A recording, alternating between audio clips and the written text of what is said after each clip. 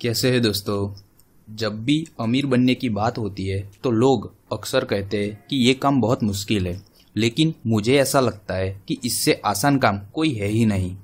अगर आप कहते हैं कि जल्दी या बहुत जल्दी अमीर बनना है तो वो निश्चित तरीके से मुश्किल काम है। और ये मुश्किल काम इसलिए है, जल्दी या फिर बहुत जल्दी अमीर बनने के लिए कोई फॉर्मूला ही नहीं है। लेकिन निश्चित तरीके से अमीर बनने के लिए बहुत ही इजी फॉर्मूला है। और ये फॉर्मूला कुछ इस तरीके से है। आपका खर्च यानी कि एक्सपेंसेस आपकी इनकम से कम रखो। बचे हुए पैसे को इन्वेस्ट करो और इसको टाइम दो। इतना ही करने से आप निश्चित रूप से अमीर बन जाओगे। लेकिन समस्या ये है कि दुनिया के ज़्यादातर लोग इस छोटे से मैथ्स को समझ तो सकते हैं, लेकिन वो लोग समझना नहीं चाहते। मेरे वीडियो में मुझे कमेंट आते हैं कि 15-20 साल में अमीर बन के क्या कर लेंगे? तो भाई, इस फॉर्मूला को मानोगे तो 20 सालों बाद आप पक्का अमीर बन जाओगे। लेकिन नहीं मानोगे तो किसको मालूम क्या होगा? और जो कहने वाले हैं कि बूढ़े होकर अमीर बनकर क्या करेंगे? तो देखो, अगर आप 25 साल की एज में काम करना शुरू करते हो, आप 45 में पक्के अमीर बन जाते हो तो भी आपके पास कम से कम 20 साल ज़रूर होंगे उस पैसों को पूरी तरह से एंजॉय करने के लिए।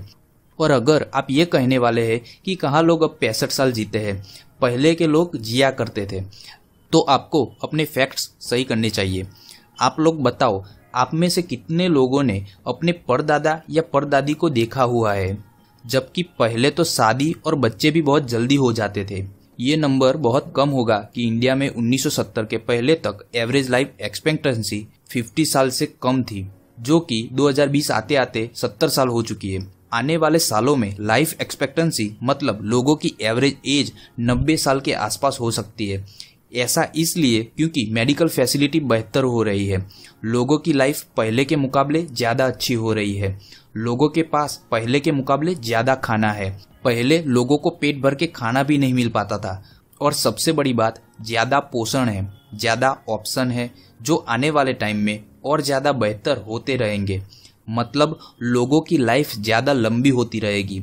मतलब अगर आप 45 के बाद भी अमीर बनते हैं तो आपका कुछ नुकसान नहीं है। आप बहुत अच्छी लाइफ जी सकेंगे और आप अपनी लाइफ में फंड भी कर पाएँगे। क्योंकि आपके पास पैसा होगा तो आप अपनी सेहत भी अच्छी रख पाएँगे। अच्छी सेहत मतलब अच्छी लाइफ लेकिन लोगों के लिए अच्छी लाइफ का मतलब वो लाइफ है जो जवानी में मिलती है। यकीन मानिए दोस्तों, अगर 45 के बाद भी आपके पास पैसे होंगे तो आप अच्छी लाइफ जी सकते हैं। आपको एक और फैक्ट बताता हूँ, जो इन्वेस्टिंग के लिए आपकी सोच को बदल देगा। आपके हिसाब से ज़्यादातर लोग सरकारी नौकरी क्यों चाहते हैं?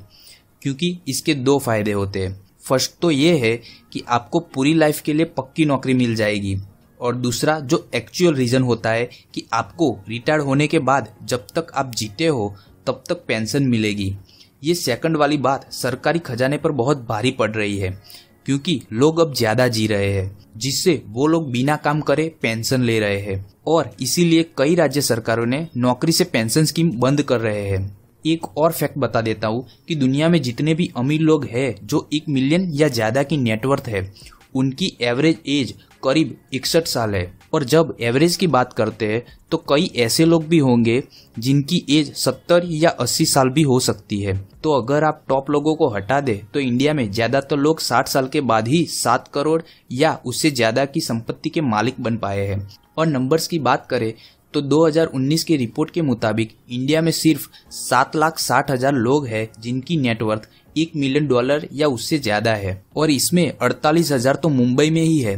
हम इस नंबर को गलत मानते हुए उसे दस गुना भी बढ़ा दे तो भी हमारे देश में टोटल एक प्रतिशत लोग भी ऐसे नहीं है जिनकी नेटवर्थ एक मिलियन डॉलर से ज़्यादा हो। मतलब आप सिर्फ़ ये सिंपल फॉर्मूला मानकर खुद को टॉप एक प्रतिशत में लेकर आ सकते हैं। और वो फॉर्मूला मैं आपको पहले ही बता चुका हूँ। इनकम को ज़्यादा करो एक्सपेंसेस कम करो सेविंग को इन्वेस्ट करो और इसको टाइम दो। और अब आप इलोन मस्क की बात करने वाले हैं, या फिर जेफ बेजोस की, मुकेश अंबानी की जैक मा की बिल गेट्स की, अदानी की, विराट कोहली की, और ऐसे ही टॉप 50 या 100 लोगों में से किसी का एक का नाम लेने वाले हैं।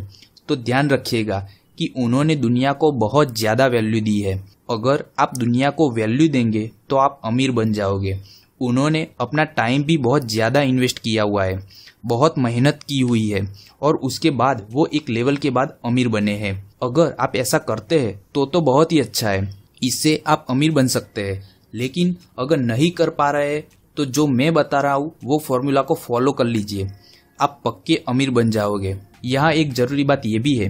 मैं कह रहा हूँ कि आप 20 साल इन्वेस्टिंग करके अमीर बन सकते हैं। और ये जो बात कर रहा हूँ, वो अधिकतर टाइम फ्रेम की बात कर रहा हूँ। अगर आप सही तरह से वर्किंग करते हैं तो ये टाइम फ्रेम ज़रूर पाँच साल का हो सकता है।